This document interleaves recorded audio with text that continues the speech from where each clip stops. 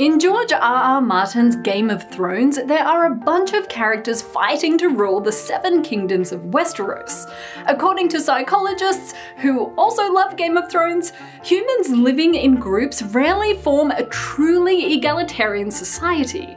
Rather, individuals have differing status or rank within the group. And in this fictional universe, the fight for the highest rank is as much of a mental game as it is a physical battle.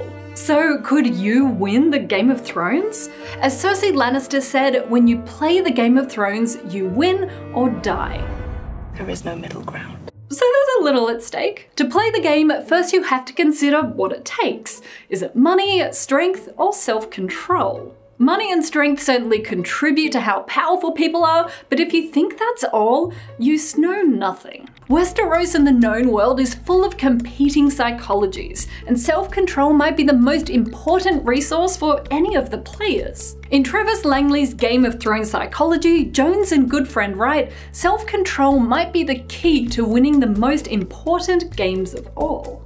But why is self-control so important? Also known as willpower, it can be defined as the ability to be in command of one's behaviour and to restrain or inhibit one's impulses. Self-control is the ability to opt for the long-term outcome. Self-control is something we all learn with time. As kids, we're generally told things like, you can't have ice cream until you've finished your dinner, and even if you want it now, like right now, you have to wait because you need to earn your reward. In the 1960s, American psychologist Walter Mischel developed a simple test of self-control for preschool-aged children, often referred to as the marshmallow experiment. Children were given a treat, like a marshmallow, and told they could eat it immediately. This is known as instant gratification.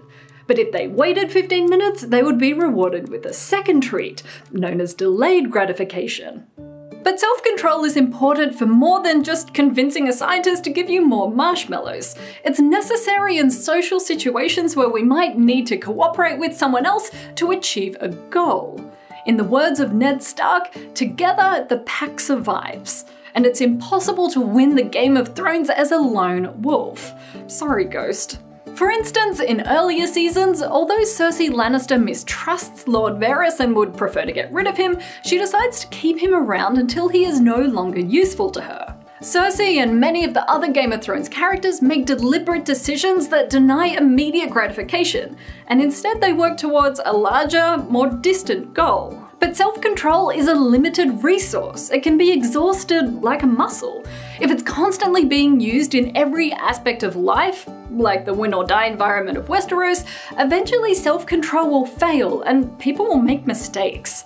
Like when a very strategic character like Tyrion Lannister takes revenge against his father. Still, mathematicians have calculated that Tyrion is the most important character, mathematically speaking, in A Storm of Swords, the third book and roughly the third season of the show. By recording any time two characters' names or nicknames were within 15 words of each other, the mathematicians were able to establish the strength and number of relationships each character had. Tyrion had the most connections and many of the strongest connections. Perhaps it was his ability to adjust his behaviours and regulate his emotions to fit the situation.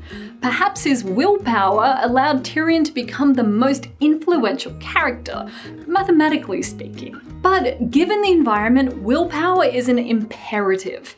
Characters rise and fall based on their ability to regulate their emotions and put off immediate satisfaction for a future reward. And that even holds true for the real world. Remember the marshmallow experiment? Well, Mischel followed up with those kids periodically over the next 40 years. Those who had more self-control as preschoolers tended to maintain that self-control over time. And that came with benefits. Higher SAT scores, better response to stress, lower likelihoods of drug abuse or obesity, better social skills, and a better ability to plan. In a game of competing psychologies, it seems that self-control could be the key to winning the Iron Throne. How about you? How would you win or just survive the Game of Thrones? And if you want to read about more psychology in the weird and wonderful Seven Kingdoms, check out Game of Thrones Psychology from Travis Langley. It's super interesting and inspired me to make this episode. Link down in the description.